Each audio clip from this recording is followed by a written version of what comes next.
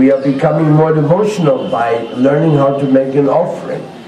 Like one of the first things you learn in Krishna consciousness is to offer your food. Yes, because you're eating every day. So when you learn how to offer your food, then your life automatically becomes devotional.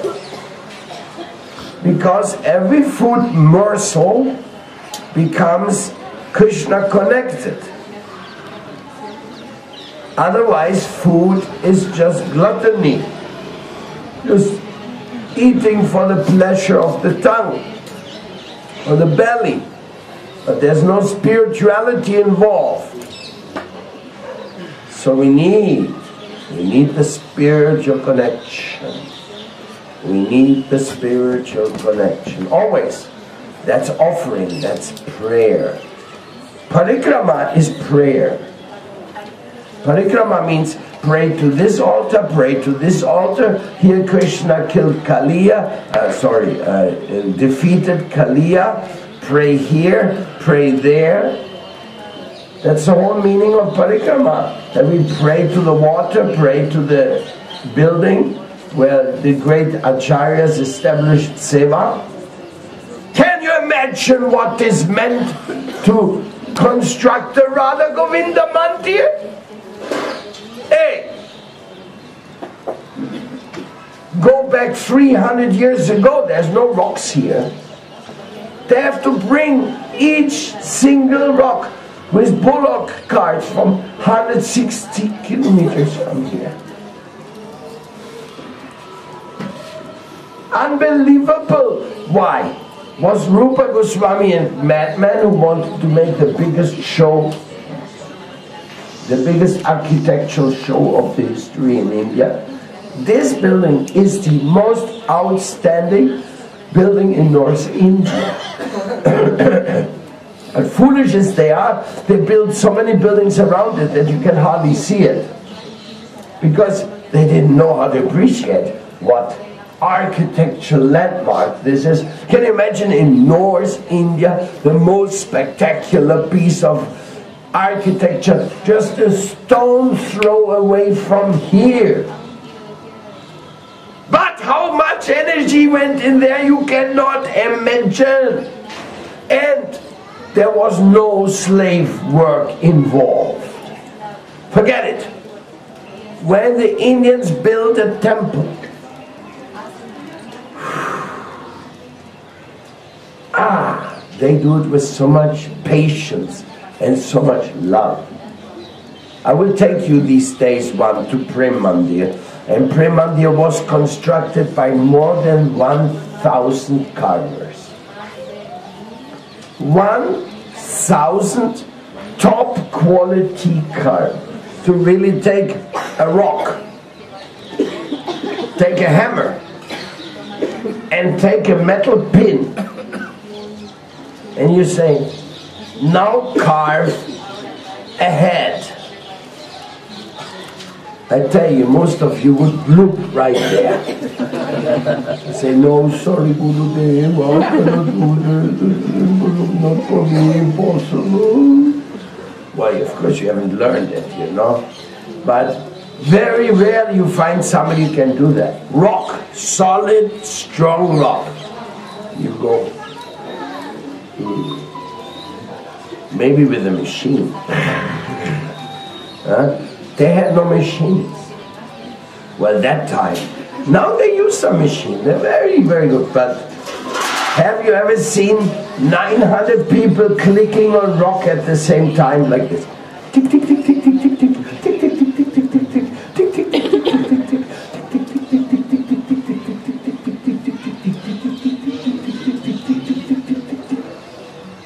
900 people at the same time sitting on the rock or next to the rock and all making one big design coordinated. And all of them smiling.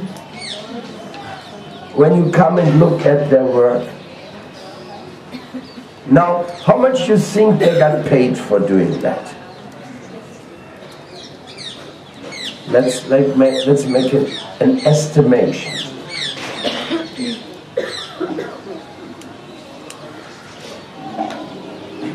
These top class carvers were receiving 300 rupees a day for doing this carving job. I mean, it's very, very little money. It's five dollars, something like that. And they were carving for years. Because there was so much carving, so much carving. When I take you to this temple, your eyes will become like this. Oh, oh, oh, My God. They constructed a world wonder here in Vrindavan. Absolutely unbelievable.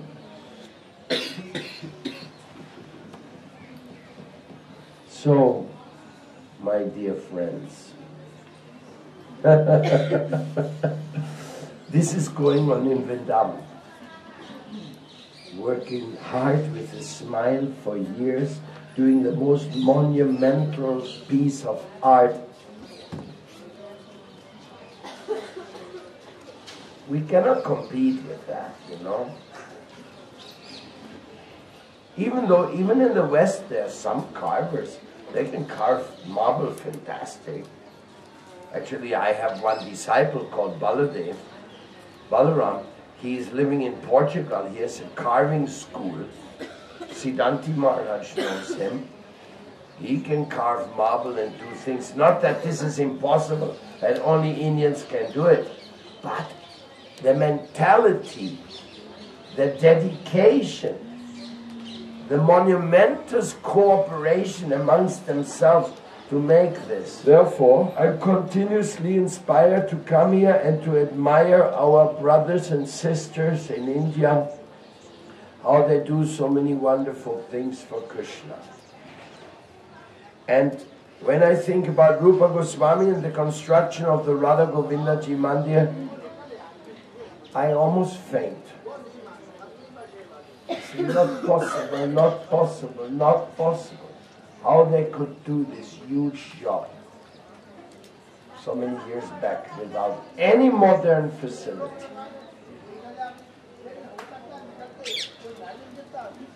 They could have said 100,000 times, let's make a small place. no, they wanted to give the testimony of Radha, Govindaji and Mahaprabhu to the world. This is the Lord of Lords. So they made the building of the building for the Lords of Lords. What to say? What to think?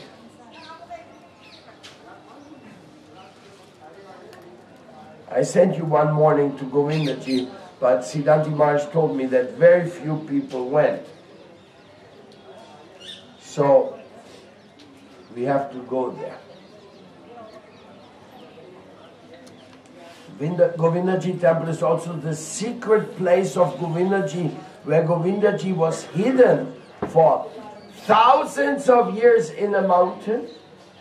And there is the place where Vrinda Devi was worshipped also.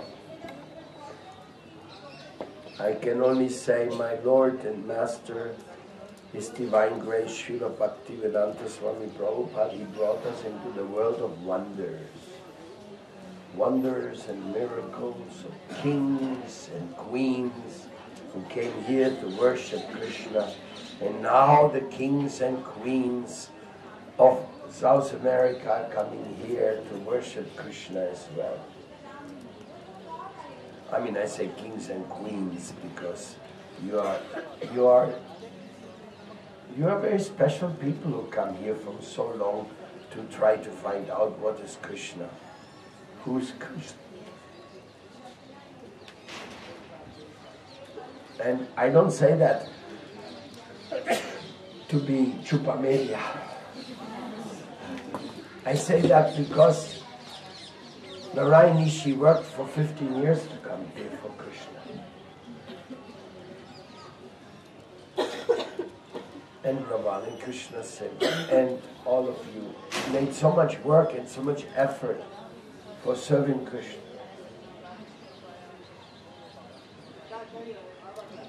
Actually, there's one topic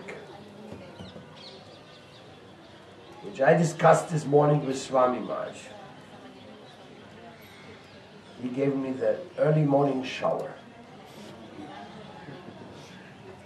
Reflect upon reality. What is our reality?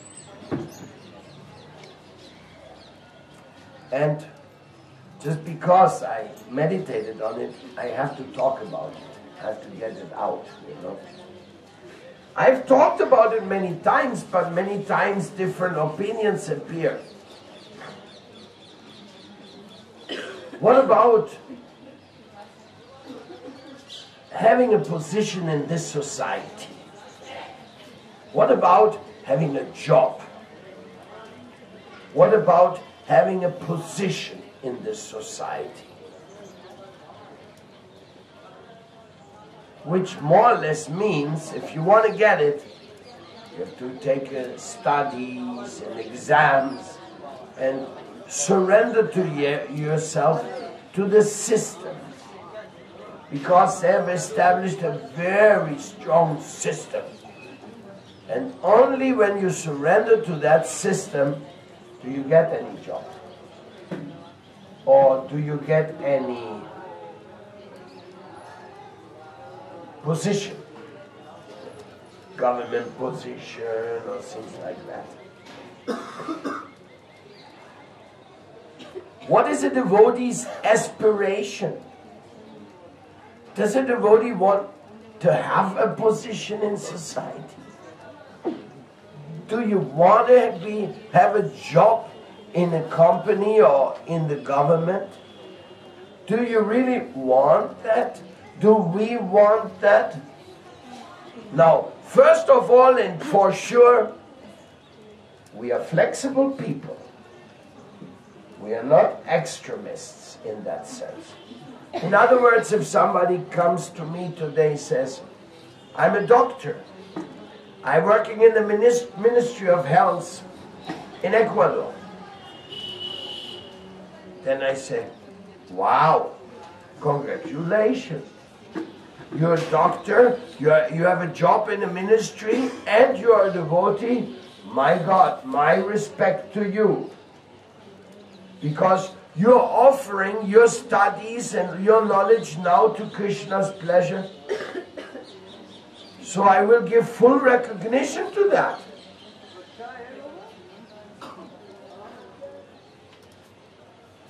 But if that person tells me, yes, but I'm unhappy the job, because in the Ministry of Education, of Health, now I'm supposed to oversee the abortion clinics of, of Quito, and I'm frightened with it, I don't want to have anything to do with that, well, then I would say, no problem, just give it up and we do something else. In other words, we are flexible. We are flexible, but we have our standards. But what is the devotee's position? Sometimes devotees are worried. What about my future? How I'm going to make my money?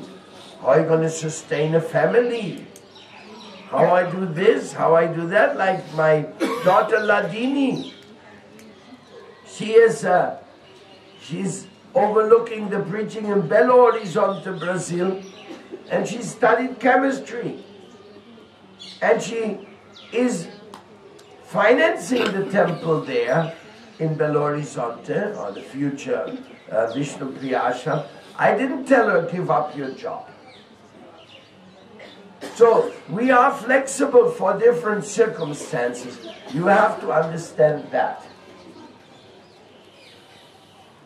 We are definitely flexible. But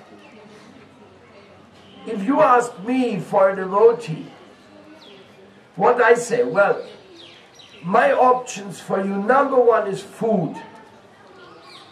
Go in the food industry if you want to be an independent thinking Vaishnava.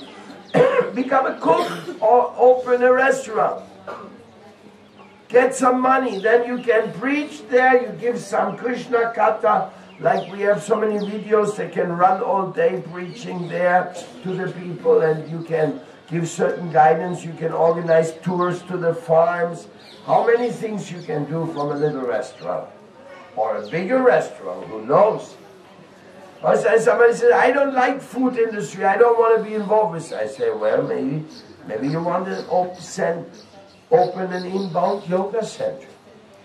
Oh, I also don't like yoga, I don't want this. Okay, then why don't you start an eco yoga farm and preach from that position and make your income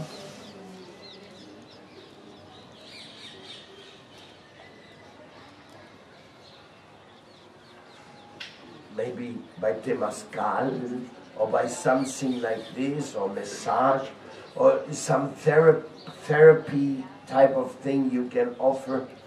But at the same time, of course, I must I must also clearly admit to you that I'm favoring always Krishna and Prabhupada. So in, in Colombia, we say, no da puntada sin. So when I give an advice to somebody what to do, I always keep in mind that that may be used for Krishna as well. Of course, if somebody says, I'm going to have a job in the government and I'm going to give $500 to the temple every month, you know what I would say or would do? I would say, oh, you're so wonderful. You actually want to give $500 donation to the temple every month? I swoon. I, I medita. Oh, you are so incredible. Huh?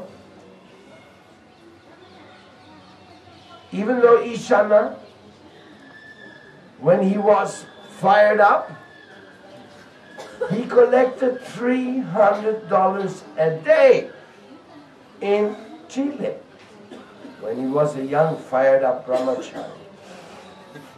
Hmm? I couldn't believe it, making $300 in, in, in Chile in a day. We can build one temple, we can open a new restaurant every month. Look, 300 by 30, $9,000, which you can, $9,000 which he collected in one month, if he wanted, or Krishna wanted. I have opened many restaurants in my life. Most of them I opened with $1,000 or $2,000 capital. Got it? If he collects $9,000 and gives that to me, I can open at least four restaurants with that. In one month, by the mercy of Krishna.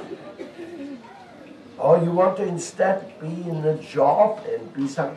It's a question of surrender. It's a question of realistic approach and putting your energy where it belongs, not to be a lazy bum. Devotees can do it, but it's not done automatically. It's uh, one shoe was stolen just recently by a monkey. so I'm reflecting, okay, inbound yoga, inbound tours, or maybe you become an OIDA therapist. Of course, then you do have to study. But what you have to study? You have to study logotherapy, OIDA therapy, and above all, you have to study what your guru wants to do with all these things. Then what other option is there? Well, he can be a book distributor, Yuganarma. He, he is doing Sankirtan with many devotees for the last one year or two years. Dos años. And they are collecting a lot of money. Not huge amounts, just selling books. Hard work. Hard work. But let me ask you a question. Is there any job really which is not hard work? Hmm? I don't know. For example, you may work in a hospice. Yesterday we visited Hridaya Chaitanya, we visited the devotees. We met three people dying. And some people that work there. They work there all the time, helping those who are about to die. Is that a heavy job? I remember one devotee from Costa Rica, an architect. He came here to work in Bhaktivedanta Hospital. Very nice devotee, good friend of Paramahansa. Yes? You want to work somewhere where people die every day? Good. Fantastic. But don't tell me it's not it's not a hard work. Just being always in the face of death, in the face of death, in the face of death. Every work is hard work. That's my point. So I, I said this. Then Mother Brinda, she started picking up garbage without a garbage bag. I don't know, she just wanted to make me happy or something.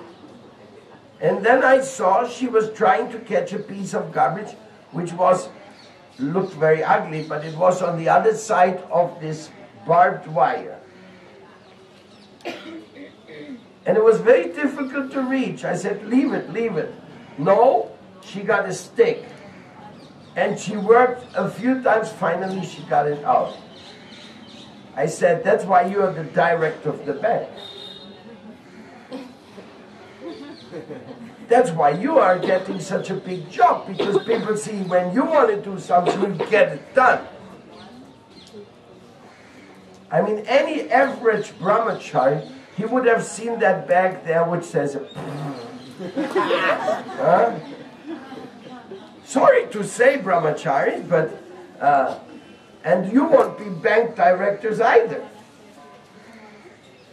Nor will you have a big restaurant working for you unless you start working hard. This is not a place for lazy people. If you want to get something accomplished. If you want to be a good temper president, then you get up in the morning and you make sure everybody has a service and everybody's happy and everybody is engaged. Then you get something done. You know, people go to school Usually they think, oh, I don't have to worry about anything now. I'm just going to school and then in the future, I won't worry what to do with this. So in a way, this system is not very helpful because it makes people kind of lazy. Of course, not everybody. There's also people in university that work hard and study like anything and they uh, acquire lots of things. but it's a fact, you know. We have to be willing to take responsibility. Just like marriage. Marriage is a big responsibility because you're going to have babies who need you and you have to work for them all day, every day of your life. That's many, why many of you are not married. Because you don't want to be bothered with this. For, because of laziness, you don't want to get married. And if you are not married because of laziness, then it's not very spiritual. It's not, oh, because I'm so spiritual, that's why I didn't marry. No, if you didn't marry because you were so attached to taking care of your temple, helping the guru do this and that, and therefore you actually said, no, I, I will not I will not accept this Grihasta charge because that will take away so much of my time from the preaching. Well, then it's a different story. I always say, for the last 20 years, I repeat that same mantra.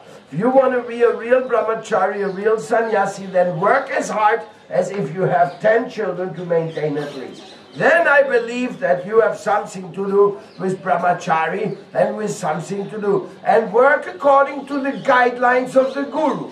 Don't work according to your own ideas. If you have good ideas, then present them to the guru. But don't cut out the guru's plan just because you think you don't want to do it. Because then you're not getting any success in your private life and you're not getting any success in the spiritual life.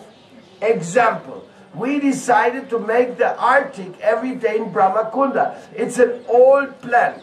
Okay, maybe sometimes we just don't have anybody to go there. But now we have so many people, plenty of people, but we have to decide who's going to do the Arctic there. In all the months of Kartik, we should have a nice Arctic there. It's right around the corner, and I took the responsibility.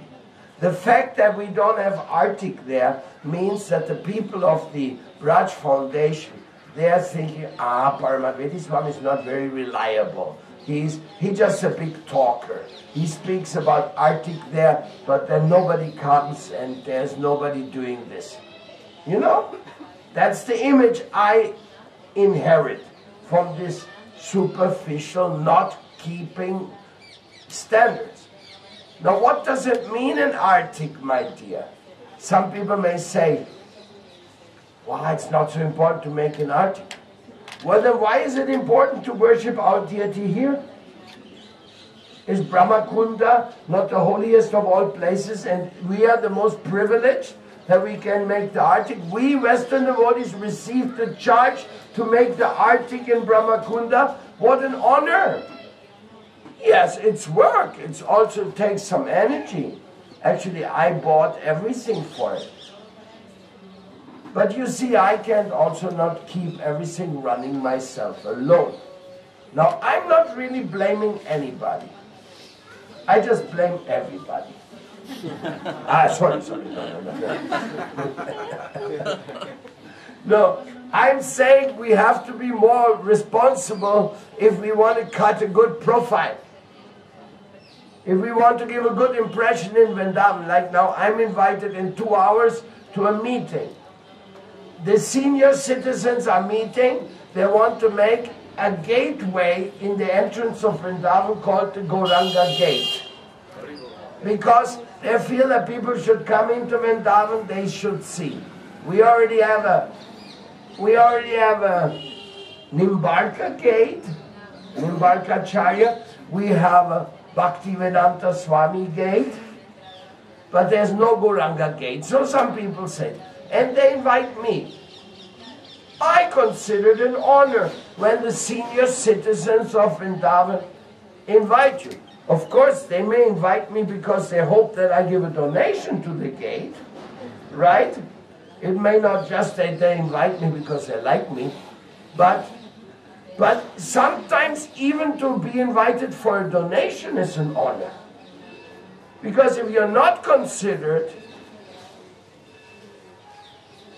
is something like this, like the, the, like the platform of, of working on interreligious affairs. If you do not go to interreligious events, do you know what that means? It, it, sends out a very simple message. It sends out the message, I just don't care for all of you. I don't care for all your ideas. You're just a bunch of karmis, and therefore why should I sit with you? So you don't say such a gross, offending thing, but by not going, by not participating, you're sending out that message. So if there's an interreligious forum and the devotees are not participating, that is a degree of arrogance which has nothing to do with the trinad api sunichena principle. It's the opposite. It's the arrogance principle. So that's why for years I've always participated with interreligious conversations and, and platforms. That's why I went to Korea when they invited me. Because when I went to Korea, I requested them, I will go if they give me a chance to present the OIDA therapy. And that's what they did. They promised me you can present the OIDA therapy and everything this and everything that. I mean, they paid my ticket there, my hotel. They spent they spent something like four thousand dollars to have me there, at least. But they didn't let me speak on the OIDA therapy. Mm-hmm. So, so in a way, I wasted my time. But you never waste your time. You meet many people. As a matter of fact, on the way back from Korea, I met a Christian Anglican bishop from Venezuela. And he had been a vegetarian and he liked very much the devotees. And when we came to Miami, he came and stayed at our temple overnight. And he invited me to Maracaibo to do something together. So, you never know what Krishna is doing here and there. You never know. A wonderful man. And in, in Korea, I met so many other interesting people, but you know, that's life. It wasn't, it wasn't what I was promised. Because I think that the OIDA therapy is the actual key to interreligious understanding. And I will explain to you why. This is not a fantasy of mine. Interreligious people, they accept that they have to respect each other despite their different opinions of worship. You see, religion means a certain type of faith, how to approach your relationship to God. So one person does it, he walks around Govardhan. Another person does it, he walks around the Kaaba in Mecca. Another person, he walks around Jerusalem to see the holy places of Christianity or Judaism there. All the four are walking. They're just walking to different places. And in the Sierra Nevada, the natives, they're also walking. They're also walking a lot. They're walking to the holy mountain of justice. They're walking to the holy to the holy place of confession. They're walking to the holy place of, of the water, of the lakes, of the snow. Hmm? So every religious person in the world is walking. We are walking right now, Braj Mandal Parikrama. Hmm? A lot of walking. But the one saying, my walking is spiritual, your walking is worthless. you see? Funny, no? Sounds funny, but sometimes religious people are very fanatic. So fanatic. So by the OIDA therapy, you understand that the soul needs to walk towards God because God has given these legs to him and God creates an holy item or hito or, or landmark or whatever or deity so that you can walk to and offer your obeisances and make your offering or like your pagamento like they say in, in the natives. So by the OIDA therapy, you study the original psychology of religious attitude. That's beautiful. Now, when you do that, then you offer start, sudden start understanding that faith is a God-given gift, and everybody needs it to live. And there's no reason and no justification for discrimination of, I mean, uh, of one system to another system. The only question we can ask as far as religion is concerned, are they doing something to make everybody happy? If yes, fantastic. And are they doing something which makes others unhappy? If the answer is yes, then that's not real religion. So the Oida therapy system technology is actually helping in the interreligious communication forum to clear out all the doubts about what is really religion and what's not religion. So that's what I wanted to present in Korea. And I'm keeping presenting it here and there and everywhere I get the chance. I will also present this in the World Hindu Parliament if they give me a chance. Maybe yes, maybe no, because you're not supposed to be attached. I don't feel very important myself, but I feel that Oida therapy approach can surely make, make this breach of overcoming this I'm better than you on the principle of my face. No, all faiths are glorious who make people good people. And Srila Prabhupada, my guru, he said that. He said, I don't come to convert everybody to be Krishna devotees. I'm just telling everybody should love God. Let's love God. Let's glorify God. Let's thanks to God. in any way, in any form which is good and favorable to humanity. That broad-mindedness doesn't make me less a Gauranga Bhakta because Gauranga is that broad-minded. And if Gauranga would not be that broad-minded, I wouldn't want to be his devotee either. I don't want to be anybody's devotee who's going to tell me hate the others. Sorry. And I never learned that from Prabhupada to hate others. But I have to admit, I have to admit that many of my fellow God brothers and God sisters, they kept hating others despite coming in contact with Prabhupada. I'm not happy about that.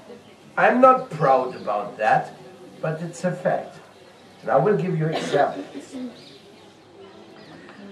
Some devotees, they were still thinking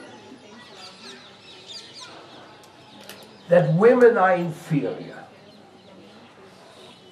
Even God's sisters are inferior. Some devotees were still thinking that. When I came to South America,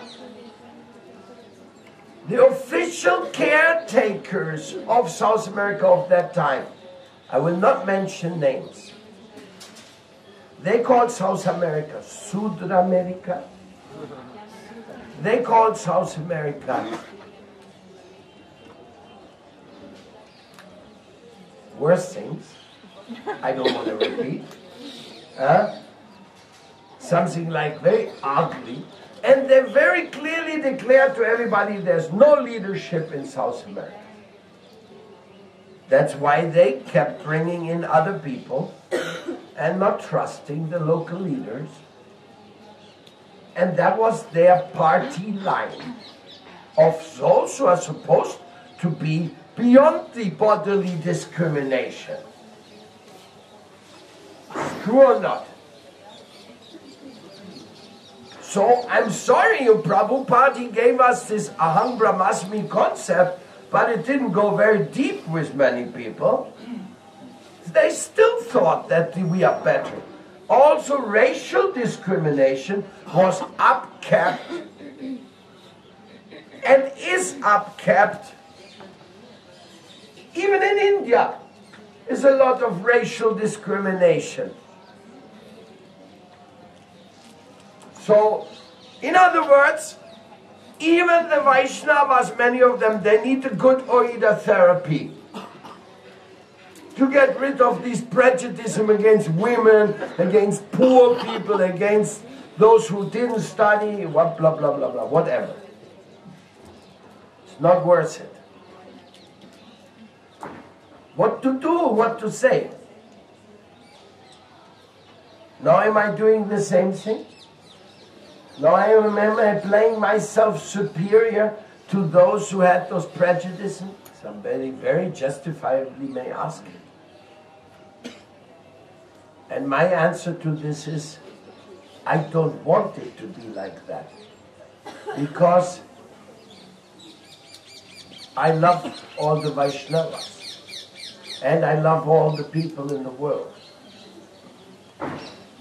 And the meeting I'm going to at 11, they're not the friends of the Gaudiya Vaishnavas of our style. There's a whole bunch of people from all kinds of religious groups, caste Goswamis, Sahajiyas, Babajis, is going to be on, and they all together want to make a Gauranga, a Gauranga gate. Not an easy job. I have to be also very humble there. Because how many different Christian groups are there? How many different Vaishnava groups are there? So it's easy to appreciate somebody of a religion totally different from yours, and you say, oh yes. But to appreciate somebody who is doing the same thing you do, almost the same, but a little different, that is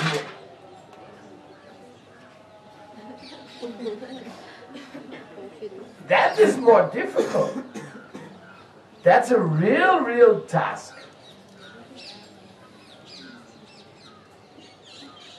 So my Guru Dev, he has given us so many tasks. Really. My Guru Dev was amazing. All the tasks he has given to us.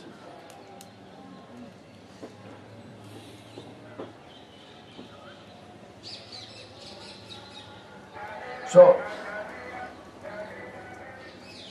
I learned from my Guru Dev, coming back to the subject of study, I learned from my Guru Dev that for a Brahmin, it's not favorable to have a job where the people on top of you are not Brahminical or devotional. For Brahmin, it's a very great torture to be in such a system. And it is my job to, supposedly, to make you Brahmins. That's what first initiation, second initiation is you become a Brahmin, right? So, if it is my job, as I give Diksha to people to make them Brahmins, I have to tell them, hey, don't become an employee somewhere. Let's do something creative. Let's find out a way so we can sustain ourselves and our preaching without becoming slaves in a society where you cannot have an opinion. I want the best for the devotees. And therefore I tell them, if you want to be part of this, then be straightforward and spread with your activity, with your hard work, spread Krishna consciousness somehow, somewhere, and without smoking marijuana. Some people are so foolish they think I can chant Hare Krishna and smoke marijuana at the same time and I'll get some good result. and they don't. They don't get a good result.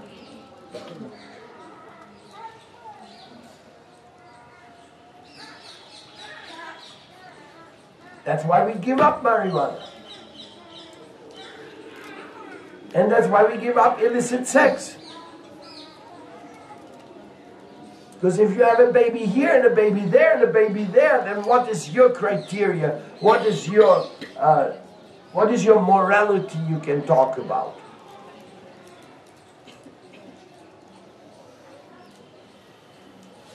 That's why we believe in family, nice family, or renunciation or whatever.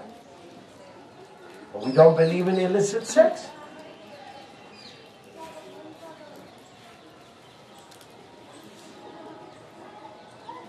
Anyhow, these are a few things I want you to reflect upon. And please protect our Vrinda mission that we can be Brahmins and we train up Brahmins. But if somebody does want to study somebody wants to take that risk and somebody wants to work in an institution, yes, we also appreciate that if they stay Krishna conscious. But they cannot expect me to make that the party line. They cannot expect me to tell everybody, as a good Brahmin, you should get a good education, have a good job in the system, like a spy. How you call it? Undercover agent. Yeah, why not? I have some undercover agents. I can't tell you who they are because they're undercover. And Siddha my godbrother, he, he managed to get a parliament member into the United Nations, in the US Congress. And after managing that, you know what he, he allowed her, because Tulsi Gabbard is a friend of mine, he allowed her to go to the military. And she went to Iraq. And she went there and she, she preached everywhere. She was the religious person. Because when she was running for office in the United States, if you can say, I served my country in the military, that is already you get 25% more of the vote. And a woman who goes to Iraq and serves in the military, that uh, my god brother understood that will be the key to success for her. And it became. She's so highly respected that now she goes and makes Diwali messages, Janmashtami messages, Gita Jayanti messages. She speaks the most amazing preaching on the YouTube from a US Congress. Never seen before. When Mr. Modi, the President of India, when he went to the US a few days ago, the only one who got a private interview with him was Tulsi Gabbard. He wanted to talk to her. Hari That is the work, the hard work of Acharya and and Srila Siddha Swarupananda. So it's not that these things cannot happen, you know. There's also undercover agents in Krishna consciousness. As a matter of fact, Mother Rinda is one. She's in charge of all the banks of north of, uh, of north of Colombia. She goes from one city to the other overseeing all the banks. And then she comes and dances with us and picks up garbage in Vrindavan. Yes, that is also. So, in other words, don't make me a fanatic because I'm not. But don't change the ideas that we have to give ourselves to hard work for Prabhupada if we want to get anything going. And this is not a lazy bump movement. Lazy bumps don't get nowhere. And if you're not a lazy bump, you report yourself to your service every day. Not because somebody runs after you. You have to run after your service. Even when you are here for one month just for parikrama, you still have to run after service. I'm running after service all the time. Not only your service. Now I'm running after service of the gate. And yesterday I was running after the World Vaishnava Association. And some people said, well, the meeting was not well organized. I must say, yes, they are right. It could have been much better organized. I was a little bit left alone as well with the meeting. But anyhow, I wasn't all alone because I had all of you.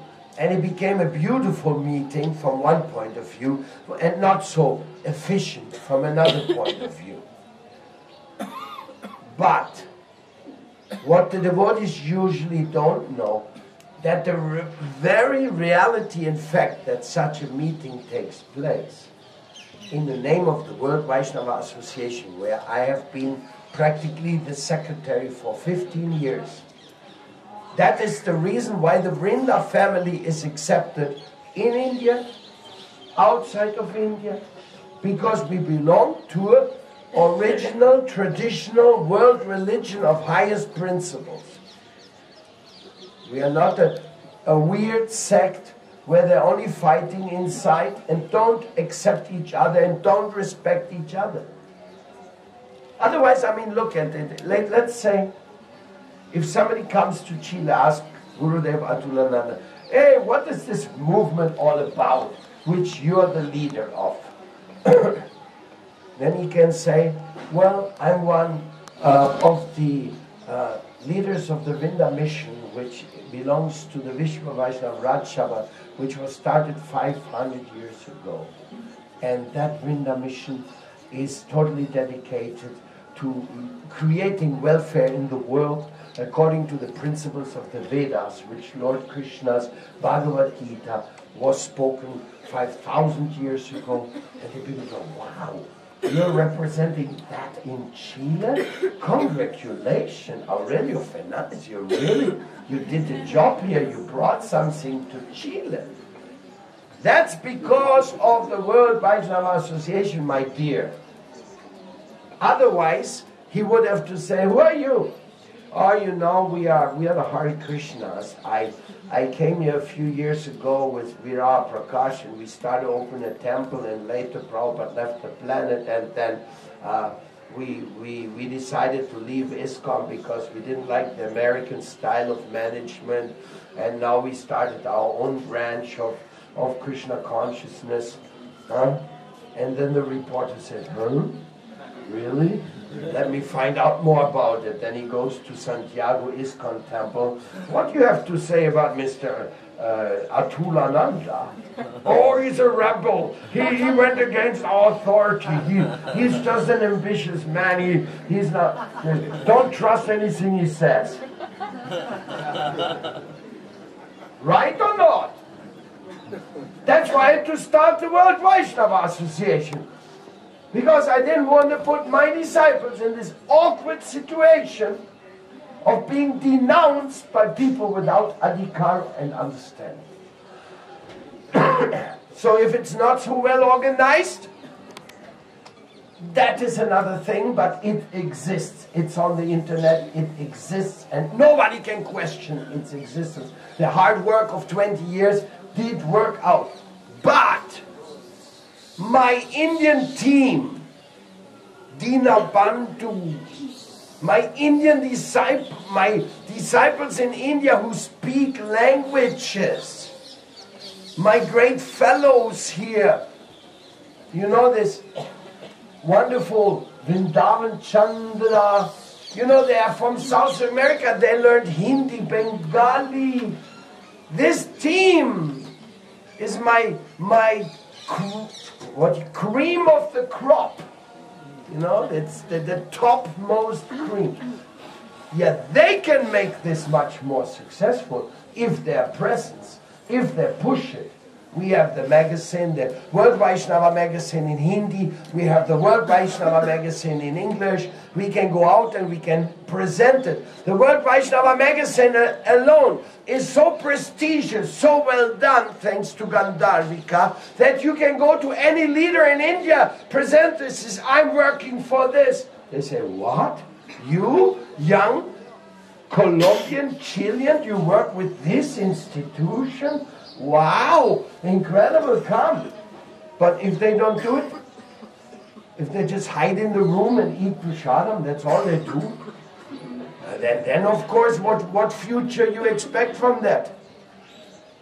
I can't do everything alone.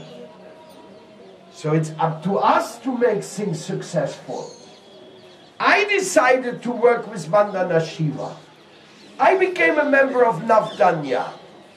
As a matter of fact, we have to make sure that we pay our, our yearly contribution because I consider Vandana Shiva and Navdanya to be very prestigious world effort for Mother Earth. Right? So that's why I went with a few devotees and we took a course with her. I took my sannyasi time to take a course in Dehradun with Vandana Shiva and became her friend. And now we are working together. When I joined Ati Quigua and Vandana Shiva, historically spoken, the words of Vandana Shiva was, today the wisdom of the east of India and the wisdom of the natives of South America become one for protecting Mother Earth. You know, that was for me like a home run, if you know about basketball. Baseball. Huh? Baseball. baseball. a home run. You run all the way to the final. Yes. That declaration, that was so important because now I can show this to the natives. Say, look, Mrs. Vandana Shiva came here and celebrated with us. So we are uniting. And that declaration for the Utsav is like one of the key declarations.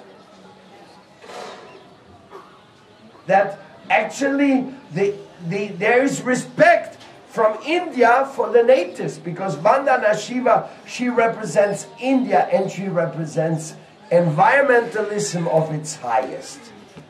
Fearless struggle against the powerful dominators of injustice in the seeds and the agriculture, etc. So these were all plans I'm making. Not because I'm becoming just an environmentalist or just because I, I want to have a name in the interreligious uh, uh, world or, or because I, I want to be a, the peacemaker amongst the, the different Gaudiya groups.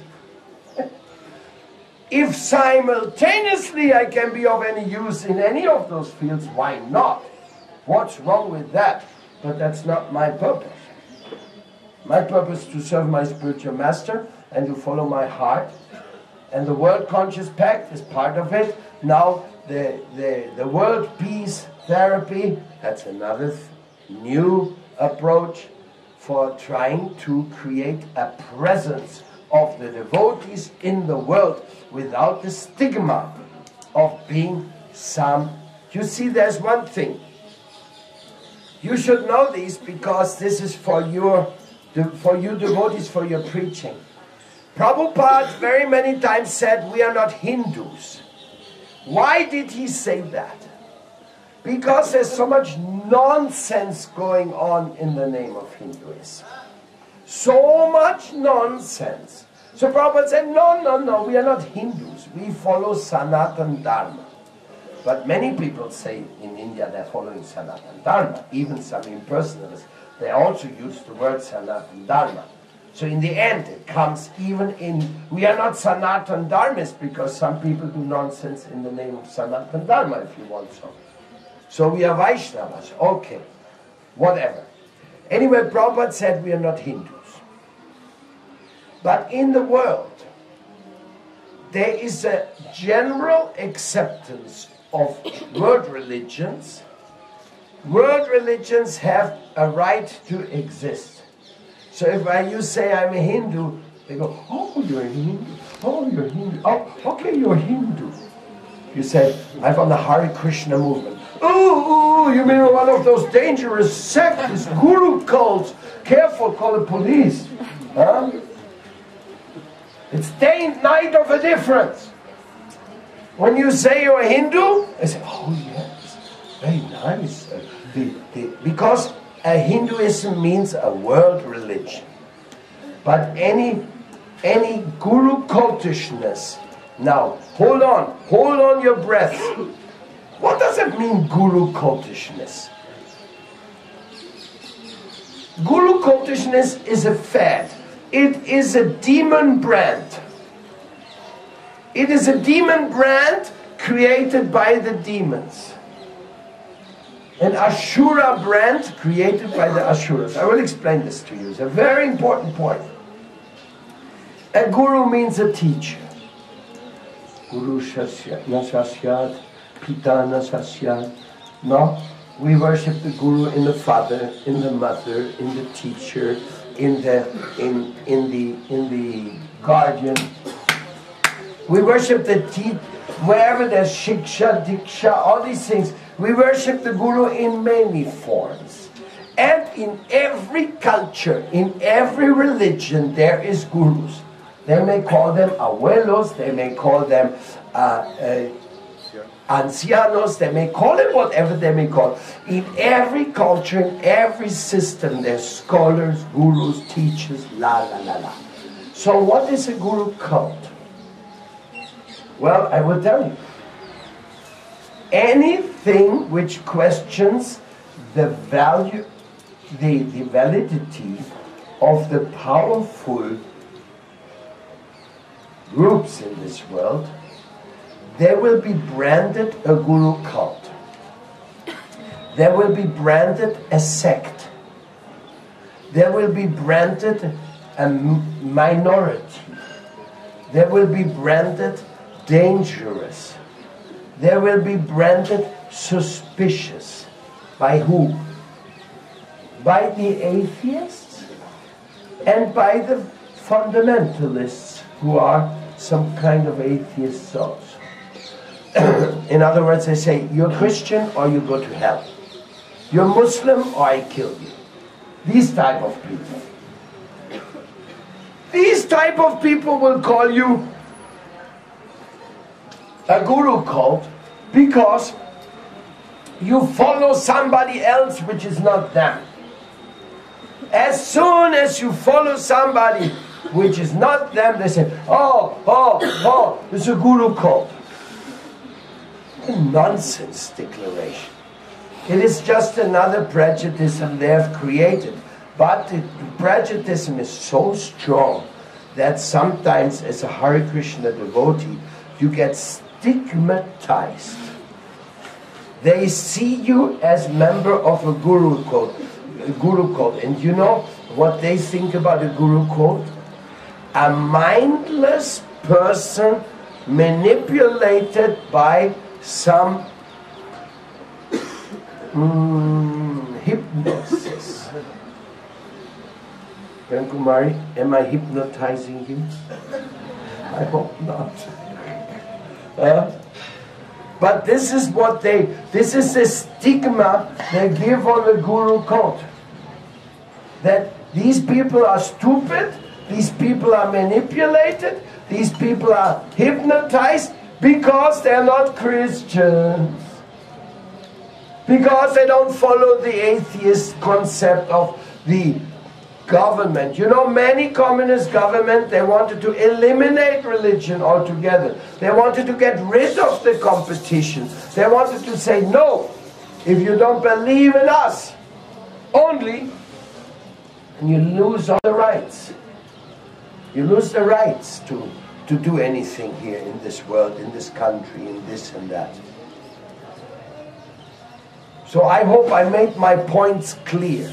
Because you come here to Vrindavan to meet with me for one month or more to learn what I'm doing, what I'm fighting for, and what you are representing in your life in where you go. So today we say, yes, we are Hindu Vaishnavas definitely we see. As a matter of fact, in Germany, I registered our society, the Hindu Verein.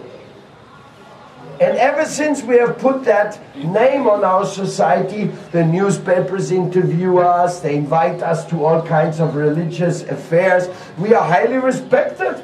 Even we are in the world, the world religions in Berlin and like that, no?